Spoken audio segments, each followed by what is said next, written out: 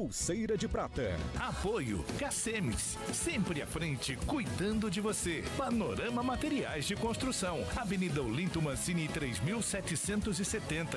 Oral Unique, por você, sempre o melhor. Opa, tamo junto, chega mais, vem comigo, vem, vem, vem! Tudo isso muito mais. Olá, hoje é dia 18 de abril. Tá começando mais um Pulseira de Prata aqui pela TVC, canal 13.1 e também pela Cultura FM. Sejam todos bem-vindos. E aí, como é que você tá? Tudo bem? Tudo certo? Como é que foi seu fim de semana? Como é que foi aí o feriadão de Páscoa? Tudo certinho? Segundou, hein? É, segunda é o Dia Internacional da Ressaca. Eu desejo a você uma ótima semana, que seja uma semana de muitas realizações. E bora porque o Pulseira começou, viu? Coloca mais água no feijão, põe mais bife na mistura, porque eu cheguei para deixar você muito bem informado com as principais notícias do setor policial de Três Lagoas e de toda a nossa região. Alô, meu amigo! Alô, minha amiga dona de casa, meu amigo trabalhador, você que está aí acompanhando a gente por onde quer que você esteja, bom saber que você está no meio de nós, bom saber que você está aqui novamente conosco. Bora, porque vem comigo que o Pulseira está no ar, tá bom? Nosso WhatsApp, novo WhatsApp, ó, eu saí quinta-feira e já tem um WhatsApp novo do Pulseira. Esse é o WhatsApp novo do Pulseira, ó. 992732760. Anota aí, porque a partir de agora a gente vai se comunicar através desse WhatsApp. 99273 2760 para você mandar aquela selfie bonita no Facebook. Você pode assistir também o programa pelas fanpages do Grupo RCN de Comunicação. Tá aí, ó, Cultura TVC, JP News, MS. Claro, para a gente continuar nesse tete a tete, sempre, sempre trocando essa energia positiva. E como é bom começar a semana, saber que você tá aí do outro lado, saber que você tá acompanhando a gente, tá bom? Vem juntinho comigo, porque hoje o Pulseira tá repleto, tem muita informação. E olha, gente, a gente já começa trazendo para você os destaques que você vai conferir no programa de hoje. Atenção, atenção, porque esse final de semana foi marcado por, por muitas operações que aconteceram aqui na nossa região, tá? Eu começo destacando porque Três Lagoas ganhou um ponto fixo da Polícia Militar, objetivo de combater a criminalidade na região e no próprio terminal rodoviário. Nós falávamos sobre isso, tá aí ó, a, a, as imagens para você na tela, tá? O que vai trazer muita segurança para a população de bem. Também, no fim de semana, como eu disse, muita movimentação do setor policial em todo o estado, principalmente nos rios aqui da nossa região. Já já nós vamos trazer o resultado da operação da Polícia Ambiental aqui na cidade de Três Lagoas. Também, a polícia prendeu um homem por embriaguez ao volante e porte irregular de arma de fogo. Tava tudo errado, tava embriagado, aí a polícia foi lá, foi fazer o baculejo, encontrou com ele uma arma de fogo. Daqui a pouquinho eu vou trazer essas informações para você. Ei, Chega mais, chega mais, pega a cadeira, puxa a cadeira, vem comigo, porque o Pulseira está no ar. E a gente começa o Pulseira de Prata desta segunda-feira. Olha, a Polícia Militar foi acionada até a UPA de Três Lagoas na sexta-feira porque um homem de 19 anos deu entrada vítima de disparo de arma de fogo. Ele foi atingido com três disparos, isso no bairro Guanabara. O Alfredo Neto, o homem da notícia, ele já chega pra gente trazendo essas informações. Põe pra mim aqui na tela do Pulseira. Um homem de 19 anos foi socorrido por familiares até a UPA, a unidade de pronto atendimento, na tarde de sexta-feira santa, após ser alvejado com três disparos de arma de fogo. A vítima deu entrada na unidade com ferimento no tórax e dois nos, no, em ambos os braços. A polícia militar foi chamada e, para os militares, a vítima relatou que estava em frente à residência dele, na rua 5, no bairro Guanabara, quando um homem em um veículo Gol passou na frente da casa e disparou por várias vezes contra ele, que, para fugir dos tiros, entrou para dentro da residência correndo. Mesmo assim, alvejado, a vítima conseguiu pedir por socorro e foi levado por um irmão até a unidade hospitalar. De posse do apelido do suspeito, identificado apenas como Miyagi, os policiais fizeram uma busca no banco de dados e conseguiram localizar uma foto e apresentar para a vítima que reconheceu aquele homem de 38 anos que já tem passagens pela polícia como sendo o autor dos disparos. A polícia militar fez rondas pela região do último endereço, a qual tem registro aonde Miyagi teria residido, mas o suspeito não foi localizado. O caso foi registrado na DEPAC e será investigado pela terceira delegacia de Polícia Civil. Após ficar em observação na UPA, Unidade de Pronto Atendimento, a vítima foi levada para o Hospital Auxiliadora, aonde passou por exames médicos e uma pequena cirurgia, já que o tiro que teria pego no tórax teria atingido de raspão. o, dos braços precisou passar por uma cirurgia e a vítima segue em observação sem risco de morte. É, tá aí, mas logo logo vai ser encontrado, né? Logo logo a polícia vai chegar nisso aí. Complicada essa situação. E olha, a gente tem falado, da semana passada a gente trouxe essa informação aqui, eu volto a debater essa informação aqui no Pulseira, porque após muitas reclamações, muitas ocorrências policiais, a rodoviária municipal de Três Lagoas ganhou um ponto fixo de polícia militar. O objetivo é combater a criminalidade na região e no próprio terminal. E olha, como tem crescido a criminalidade ali no terminal rodoviário. Antigamente a população reclamava muito e reclamava bastante, porque ia lá pegar um ônibus e se sentia inseguro. Porque eles abordavam as pessoas, né? eles intimidavam as pessoas ali na praça. Inclusive a nossa, a nossa reportagem, nós fomos gravar essa matéria que você vai ver agora, nós também fomos intimidados. A sorte é que a polícia estava lá para nos, re, nos resguardar. Né? Então, com os policiais lá, vai acabar cerca de 90% as reclamações e as incidências e ocorrências ali na rodoviária. Eu fui lá e vou trazer para você a informação. Põe na tela do Pulseira. Segurança e tranquilidade. Sensações que os frequentadores do terminal rodoviário de Três Lagoas passaram a ter nesta semana. É que a Polícia Militar reativou o posto fixo de policiamento no terminal rodoviário municipal. Ótima notícia para a cidade e principalmente para as pessoas que precisavam utilizar o local com frequência e ficavam com medo devido à insegurança, diz o morador. Ah, vai melhorar bastante, viu? Pelo que eu vi aí, vai dar uma adiantada boa, porque até antes de chegar tava meio bagunçado. Aí ele chegando já deu uma boa resolvida. Vai melhorar bastante, ajuda muito. O senhor acha que com eles aqui vai inibir a ação desses indivíduos? Vai, bastante. Vai dar uma boa ajuda. Vai melhorar e muito.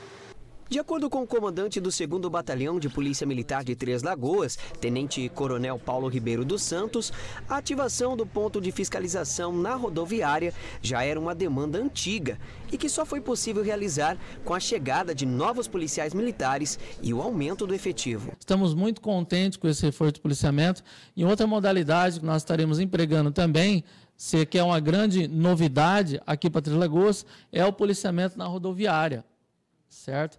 Tá, acho que tão almejado pela nossa população, nós já tínhamos essa intenção de estar ativando o policiamento fixo ali na nossa rodoviária para que pudesse, de forma, é, para que pudesse garantir segurança não só a, aos passageiros, mas todas as pessoas que ali passam e frequentam estão ali em presença na nossa rodoviária.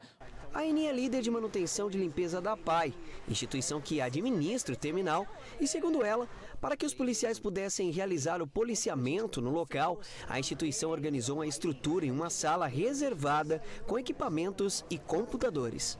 Foi uma iniciativa que a gente, né, da PAI, é, tomou e a gente levou até o comandante para a gente estar tá arrumando toda a sala, né, porque foi é, tudo pela PAI, que providenciou tudo e a gente teve o apoio do comandante Paulo. Quer dizer, a PAI providenciou a sala e o comando entrou com o policiamento. Isso, porque é um ajudando o outro com essa obra, né? Porque dessa forma que a gente pode combater esses usuários aqui, porque é a coisa que está até sendo uma vergonha aqui para a rodoviária, é essa praça. O maior problema da rodoviária municipal são os moradores de rua e usuários de drogas, que se aglomeram na praça pública que fica em frente ao terminal. Passageiros, funcionários e taxistas são constantemente abordados pelos grupos que causam medo. Algumas ocorrências de roubo e furtos também foram registradas no local. Porque a gente estava tendo muita ocorrência, muita briga. É, esses pessoal que convive aqui na praça, os usuários, eles brigavam, eles usavam droga e acabava vindo prejudicar a rodoviária, onde que os passageiros é, ficariam com medo, né? É, das coisas que eles, transtorno que eles causavam aqui. Que só da presença da viatura estando aqui, ele já não procura nem vir aqui perturbar ninguém. Então já é uma boa coisa aqui. Sem dúvida nenhuma, é um grande avanço para a cidade de Três Lagoas. Como eu disse no início da reportagem, a gente falava sobre isso e a semana inteira a gente ficou debatendo esse assunto. Por quê? Porque ali os moradores reclamavam muito. Quem precisava utilizar o terminal ali é, reclamava muito da falta de segurança ali. Né? O pessoal descia ali e já ficava inseguro. Olha, será que eu vou ser abordado? Será que eu vou ser né, assaltado aqui, principalmente à noite? Era complicada a situação ali. Agora, com o policiamento ali, com certeza, esses indivíduos que praticam ilicitudes ali, eles vão ficar mais ressabidos, né? Eles não vão praticar mais esse tipo de ilícito ali. Mas o problema era a praça. A praça ali, inclusive quando nós estávamos fazendo essa matéria, essa reportagem, nós fomos abordados por um rapaz lá, né, que tocou o terror na, na, na, gente, tocou o terror no meu cinegrafista, né, dizendo que não podia filmar, dizendo que a polícia estava lá, inibiu a ação dele lá. Ficou tranquilo, ficou de boa. A polícia chegou na hora. Mas, rapaz, eu vou te falar. A gente sentiu na pele o que os moradores sentiam ali. Inclusive, quando nós chegamos lá, ele estava sendo abordado. Né? E aí ele veio dar uma de bonzão. Não, que você não pode filmar aqui, que não sei o quê, barará, batendo boca. Complicado. Agora nós esperamos né, que com o policiamento isso aí não volte a acontecer ali na praça. E os moradores com certeza agora estão se sentindo mais seguros. Né? Policiamento nas eu falo sempre aqui, a gente costuma falar sempre aqui, policiamento nas ruas é a população mais segura, se sentindo mais segura. E é isso que tem que acontecer. Chegaram esses 18 policiais, foram 58 formados aqui para a região do CPA2, 18 ficaram em Três Lagoas e agora vão garantir a segurança do Três Lagoense aqui da nossa grande, bela e bonita cidade de Três Lagoas.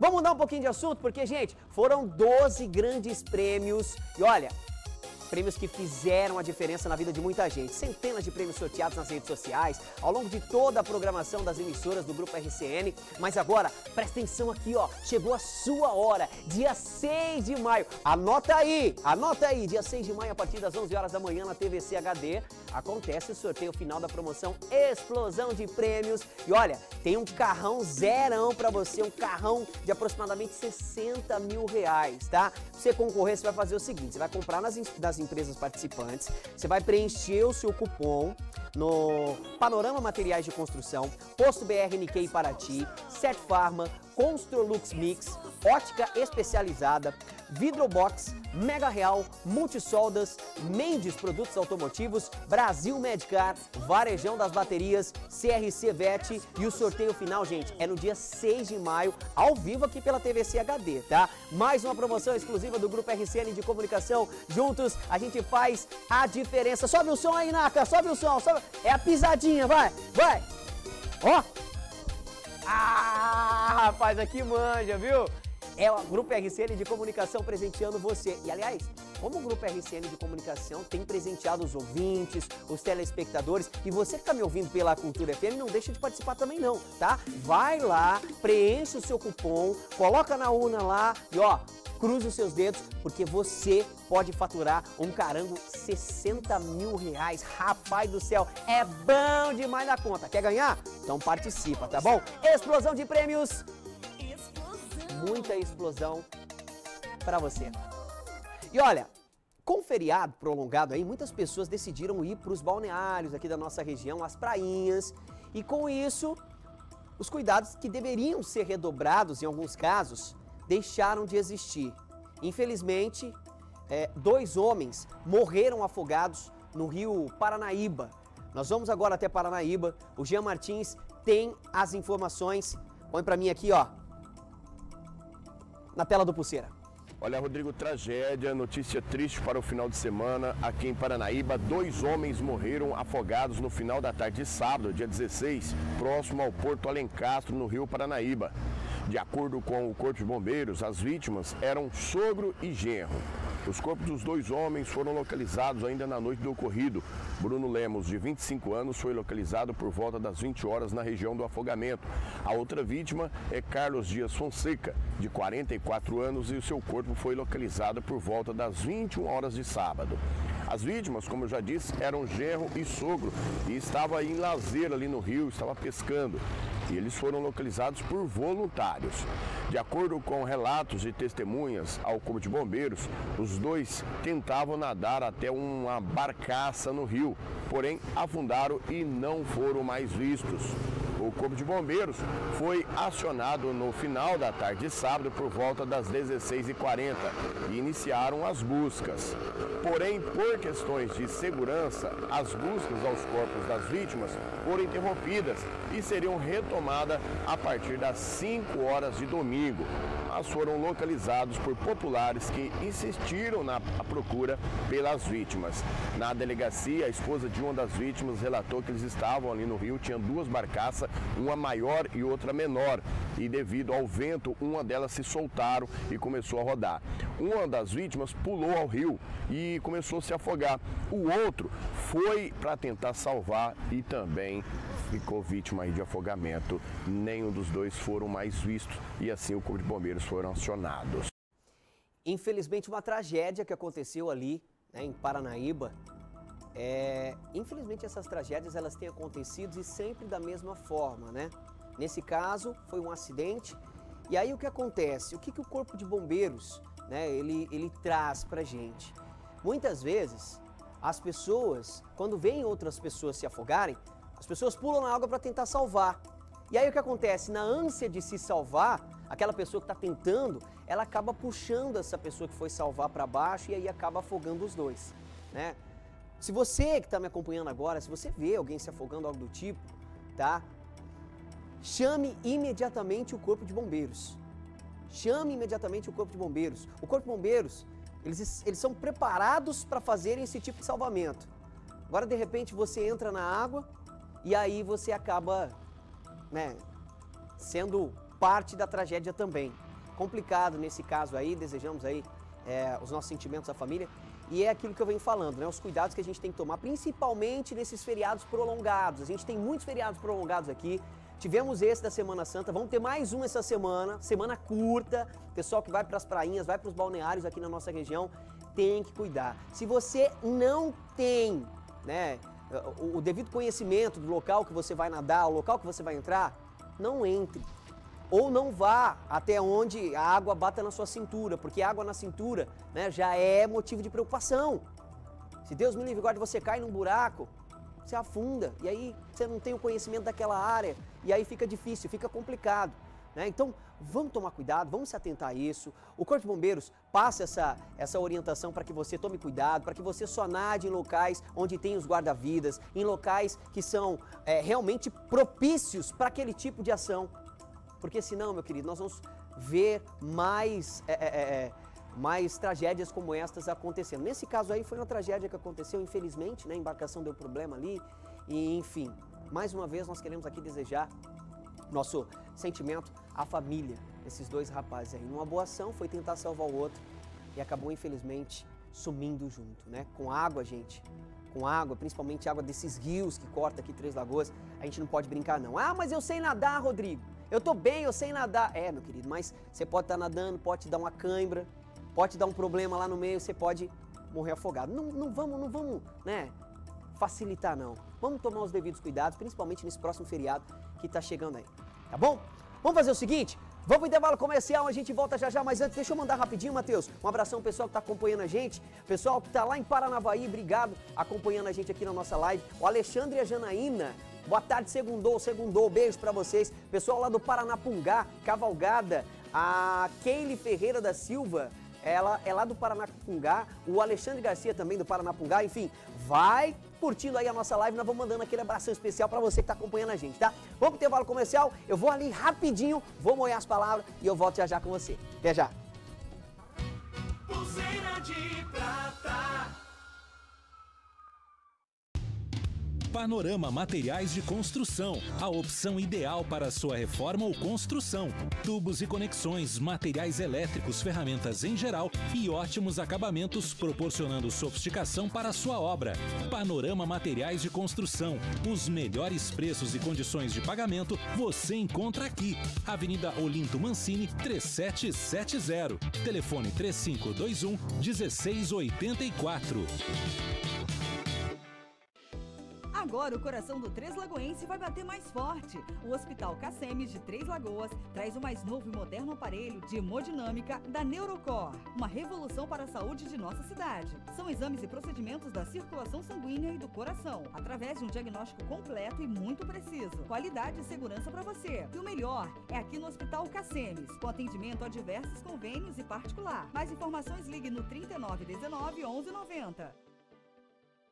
Vocês já sabem o quanto eu admiro e confio na Oral Unique. Ela está comigo não só cuidando da minha saúde, como também da beleza do meu sorriso. Na Oral Unique, você faz seus implantes em uma clínica premium, completa, com todo o conforto e com a máxima qualidade e total segurança. Implantes dentários. É na Oral Unique. Agende já a sua avaliação. Oral Unique. Por você, sempre o melhor. Pulseira de prata. Estamos de volta com o nosso Pulseira de Prata aqui pela TVC, canal 13.1. Gente, participa conosco. Você sabia? Ó, você sabia que o Pulseira tá com um novo WhatsApp? Matheus, põe o WhatsApp do Pulseira aqui pro pessoal participar com a gente. 992732760. Anota aí, manda o seu selfie pra gente. Vai lá, manda o seu selfie, ó. 92 73 2660 para você participar com a gente neste comecinho de semana, nesta segunda-feira, segunda-feira braba, de muito trabalho, de muita alegria para você começar, ó, com o pé direito a semana e seja uma semana de muita paz, muita saúde e, claro, de muitas realizações para você que me acompanha pela rádio e para você que me acompanha aqui também pela TVC 13.1. Ó, e por falar em coisa boa, eu quero falar para você de saúde. Eu quero falar para você do Hospital Cacemes, aqui em Três Lagoas. Pode VT. Agora o coração do Três Lagoense vai bater mais forte. O Hospital Cacemes de Três Lagoas traz o mais novo e moderno aparelho de hemodinâmica da Neurocor, uma revolução para a saúde de nossa cidade. São exames e procedimentos da circulação sanguínea e do coração, através de um diagnóstico completo e muito preciso. Qualidade e segurança para você. E o melhor é aqui no Hospital Cacemes, com atendimento a diversos convênios e particular. Mais informações ligue no 3919 1190. Tá aí para você de Três Lagoas, para você de toda a região, esse é o Hospital Cacemes. Passa por lá. Pensou em saúde e qualidade, pensou em Hospital Cacemes, tá? Fala com toda a equipe lá. O pessoal lá é super gente boa, vai atender você com muito carinho. Aliás, um abraço a todos os enfermeiros, os médicos, a toda a equipe do Hospital Cacemes aqui de Três Lagoas. E olha, eu comentava aqui que esse fim de semana foi repleto de muitas operações, né? É, inclusive, a Polícia Ambiental de Três Lagoas realizou também uma mega operação para coibir a pesca predatória. E não só na nossa região, não, mas em todo o estado. E hoje saiu o resultado da operação. Nós conversamos com o comandante da PMA de Três Lagoas, que tem mais informações. Põe para mim, mim na tela do Pulseira de Prata. Roda lá. A Polícia Militar Ambiental encerrou neste domingo mais uma operação Semana Santa no Mato Grosso do Sul, com o intuito de coibir a pesca predatória nos rios do estado. Em Três Lagoas, a operação se concentrou nos rios Sucuriú, Paraná e Rio Verde.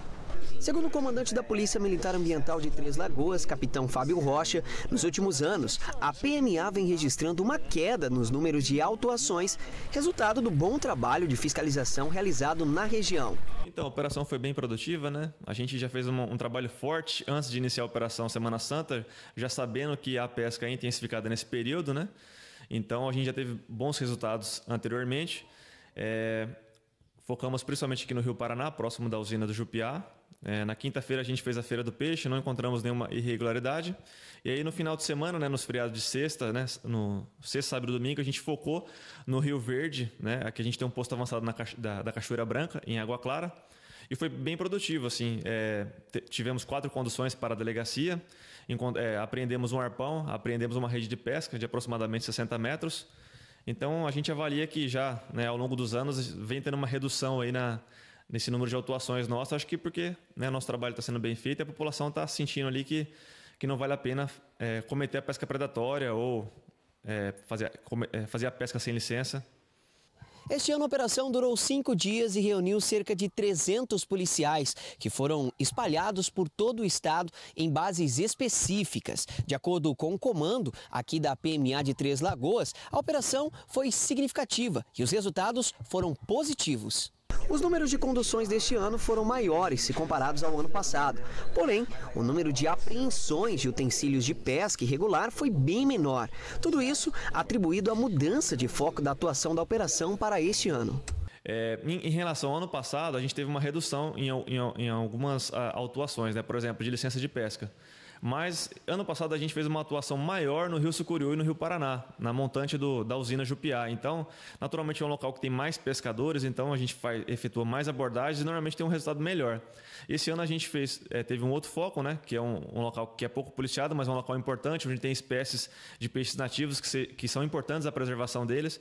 Então, é, por, por isso a redução. Mas de qualquer maneira, a gente teve quatro condições para a delegacia, né? Ano passado foi somente uma.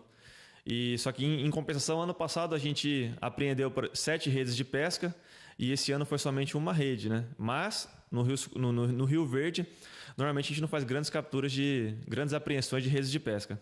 De acordo com a Polícia Ambiental, nesta operação, a polícia abordou 79 pessoas, 28 embarcações e 4 veículos. Quatro pessoas foram conduzidas para a DP. Foram lavrados quatro autos de infração e apreendidos uma rede de pesca, um arpão e uma embarcação. É uma característica do nosso estado, né? A gente tem grandes rios, tem uma uma fauna aquática é, reconhecida por pescadores do Brasil inteiro. E a, a, Polícia Militar Ambiental ela tem uma atuação bem presente aqui nos rios. Então, assim, é, a gente ouve muito é, pescadores de outros estados né, relatarem que, que aqui no Mato Grosso a fiscalização é bem intensa e que, com, com frequência, é, essas pessoas se deparam com, com, uma viatura nossa, com uma equipe nossa da, da Polícia Ambiental. Isso é bom não só para Três Lagoas, mas é bom também para a corporação, né? Essa fama de de ter essa fiscalização mais efetiva? É bom, a gente fica muito feliz, né? Você vê que o Mato Grosso ele tem uma, uma, uma legislação assim, bem restritiva da pesca, né? E é muito importante essa presença nossa. Eu acho que esse trabalho da Polícia Ambiental é, é, é fundamental para a gente preservar né, nosso, nossa fauna, nosso, nossos rios aqui do estado e, e, gerar, né, querendo ou não, se você tem o, o pescado aqui, o, o turismo ele continua sendo fomentado, né? E aí vem mais turistas com, com esse intuito de fazer o pesca e solte. E essa cultura, essa, essa disseminação de cultura de pesca e solte, né, de preservação do meio ambiente, a gente vai conseguir preservar os rios para as próximas gerações. Muito bem, tá aí parabéns à Polícia Militar Ambiental aqui de Três Lagoas, e não só Três Lagoas, mas todo o estado realizando essa mega apreensão. Agora, meu querido, você aí que ainda pesca irregular aqui em Três Lagoas, você toma cuidado, porque esse próximo feriado a polícia também vai realizar a operação, né? Então, ó, foi apreendido barco, aprendi motor, aprendi. Como é que vai pescar fim de semana agora? Não dá, né? Não tem como, né? Não é mais fácil você fazer o seu cadastro, tá tudo certinho para você não ter esse tipo de dor de cabeça? Complicado, né? Se não vai pelo amor, vai pela dor. Complicadíssimo aqui em Três Lagoas. Gente, não temos tempo mais para nada. Eu quero agradecer o seu carinho. Obrigado mais uma vez por você ter me dado a oportunidade de entrar na sua casa. E ó, amanhã, meio-dia e 30, eu chego com mais uma edição do Pulseira de Prata, tá? Pulseira de Prata com muitas informações policiais passado a você daquele jeitinho que a gente sabe, tá bom? Um abraço, bom comecinho de semana, bom restinho de segunda-feira. A gente se fala, a gente se vê. Tchau, obrigado.